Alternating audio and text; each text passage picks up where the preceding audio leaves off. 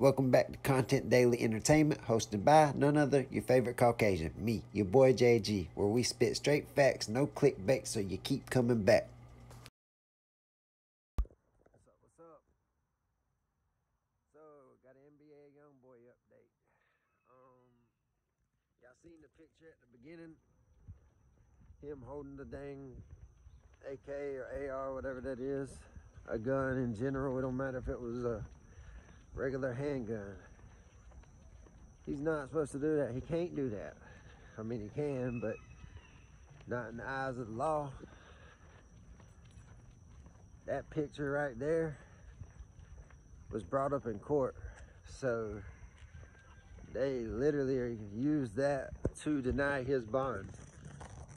That's so stupid, man. Like, use your head, man. You, you on probation or parole whatever. You want some type of papers that you can't be around there. You know? NBA Youngboy's got all these lawyers that are coming at every angle trying to get him out. Oh, that was a unlawful search or this or that. He's on probation or parole. He's on papers. He threw away them rights. He has no rights to not be searched. They can search him at any point they want without a without a warrant. Hey Lexi, come on. Hey. Lexi, hey. Hold on. Hey, get on this side of the road. Come on. Yeah. So now they appealed they appealed him appealed the judge to try to get him out and bail him out before his actual court date. So that way he could be free working on music. You know, his his legal team even promised 24 hour supervision, ankle monitor, being at home, you know, like 24 hour surveillance, like saying that there's no way he could do anything.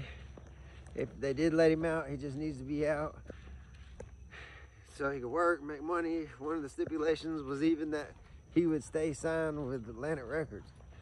I don't even get why that was even a factor that was even played in that, but I don't know. Heard some other people from his camps offering to pay money cash too. I like the T.I. situation. Whenever he went, they bombarded him with all them charges. You know, he ended up paying like two point something million in, in cash. And, you know, a lot of, uh, a lot of money in the States, you know, gave to the government just to get him out. But, um, nah, it's not looking good for Young Boy. Young Boy's gonna do some time. I hate people thinking he's not. He is. Doing it like they trying to act like that sting wasn't like to catch him wasn't what's the word? Basically legit.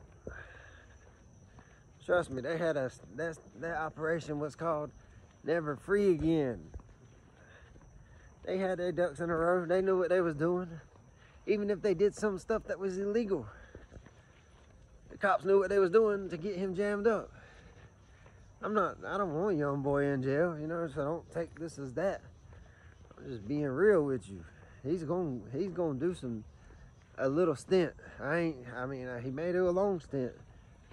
He's doing some type of stint though. That's why they ain't letting him out. Yeah, his court date might not be till next year. That alone is a little stint itself.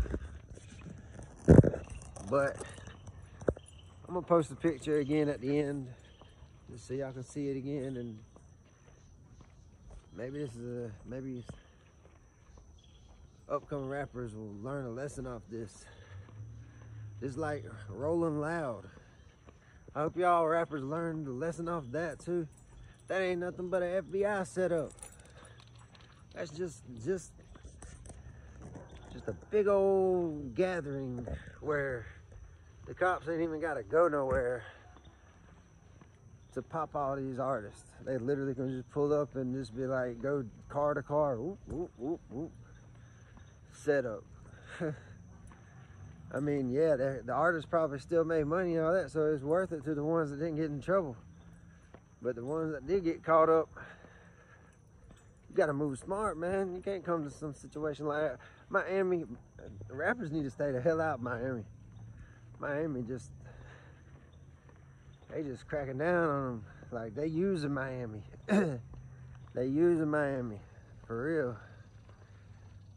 They using Miami to pop all these artists. Cause this Miami's the new Atlanta.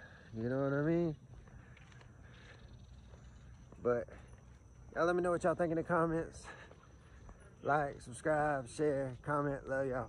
Peace out.